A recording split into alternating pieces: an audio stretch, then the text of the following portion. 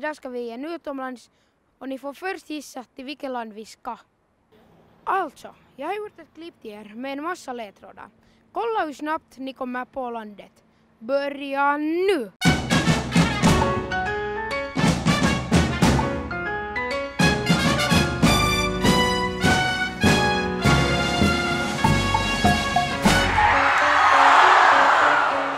Landet jag kommer tala om är alltså Kuba, som är, ett, som en ö i det Karibiska havet.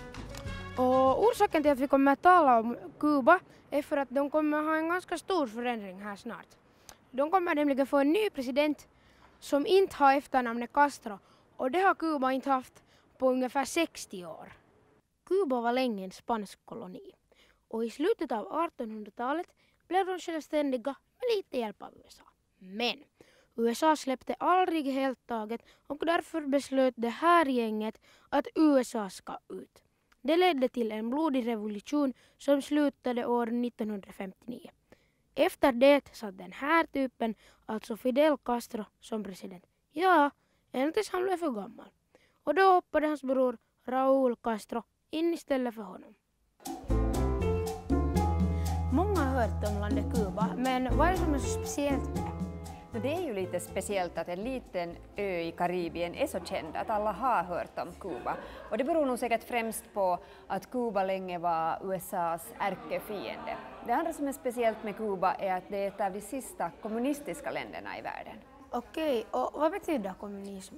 Nå, det att Kuba är kommunistiskt så det betyder det att det är en enpartistat. Att om de har val där så finns det bara ett parti som man kan rösta på. Och det är det här kommunistiska partiet. Och det kommunistiska partiet vill att det ska bli mer rättvist i landet. Att alla ska ha tillgång till sjukvård och att alla ska ha tillgång till gratis hälsovård. Och att ingen ska bli så där jätterik men inte heller jättefattig.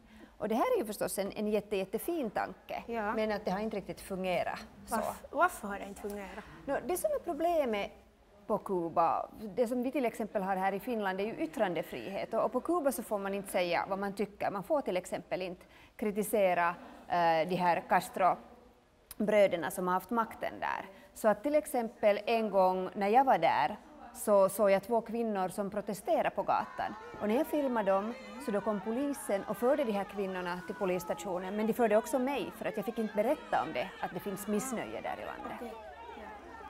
Men vad gjorde polisen med dig? Nå, jag blev nog frisläppt sen ännu samma kväll.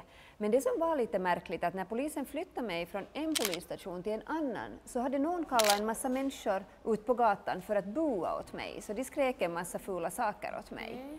Och, och det här är en så kallad offentlig förnedring, ett sätt med vilket man vill liksom avskräcka folk från att kritisera regimen för att då så vänder sig hela folket mot dig. Och jag tror faktiskt att alla de där som var där, så de var inte där frivilligt utan en del hade blivit tvingade att komma dit och bua åt mig. Vad tycker de som bor där om kommunismen? Nå, det är lite svårt att veta eftersom de inte har yttrandefrihet och inte kan säga öppet vad de tycker och tänker. Att då när jag var där och frågade vad de tycker om det så, så var det nog hemskt få som vågade svara. Men vi vet att hemskt många är missnöjda för att till exempel två miljoner kubaner har flytt till USA. Varför är de missnöjda?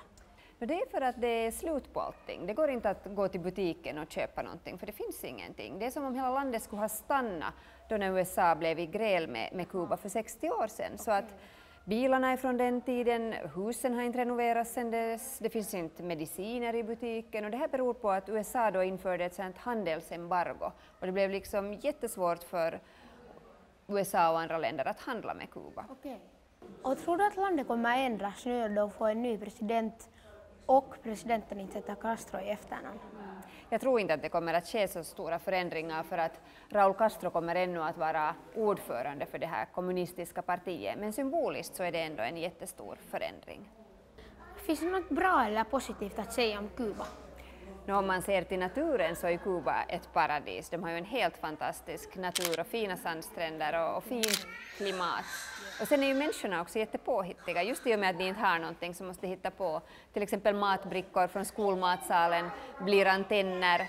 Uh, skokräm kan bli mascara och sen har de ju inte heller internet, fritt internet så att de har hittat på eget internet och det går ut på det att, att om någon lyckas olagligt ladda ner till exempel amerikanska TV-serier så sprider de sen, de för den här minnesstickan från, från hus till hus och det är deras internet ja. så att de är jättepåhittiga.